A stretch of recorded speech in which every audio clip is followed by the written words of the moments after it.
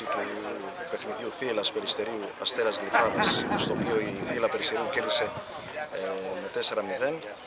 Ε, μαζί μας έχουμε και τον ε, ποδοσφαιριστή της Θύελας Περιστερίου, ο οποίος πέτυχε και δύο τέρματα σήμερα. Πες εσύ το όνομά σου. Ε, Ηλίας Αντωνόπουλος ονομάζομαι. Ηλίας Αντωνόπουλος. Ε, είμαι ιδιαίτερα χαρούμενος για τη σημερινή νίκη. Ε, όχι τόσο για τα δύο γκολ τα οποία πέτυχα στο, μέσα στο μάτς, αλλά για το γεγονός ότι νικήσαμε. Ε, οι κόποι μας ανταμείβονται.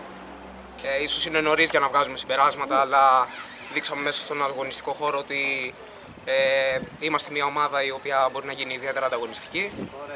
Ε, είμαι ιδιαίτερα χαρούμενος γιατί μας βγήκαν όλα αυτά που ε, όλη αυτή η δουλειά που κάναμε όλο αυτό το μήνα πήγε μέσα στο παιχνίδι, οι αυτοματισμοί μας, η ψυχραιμία μας πάνω απ' όλα, το γεγονός ότι ευχαριστηθήκαμε το μάτς. Ε, αυτό. Είστε με...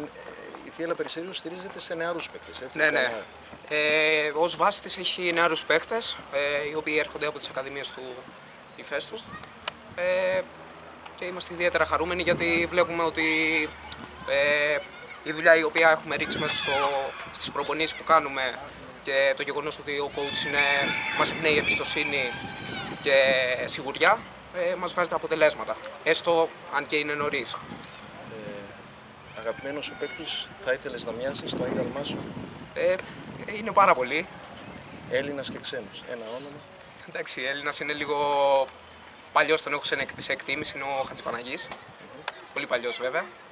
Ε, και από ξένους μου αρέσει πολύ ο Κριστιανό Ρονάλντο, ε, ο Τραωρέ. Τρει τέτοιοι παίκτες. Πού αφιερώνεις τα δύο γκολ που πέτυχες σήμερα, στην πρεμιέρα του πρωταθλήματος; Ε, Στους συμπαίκτες μου και στο coach.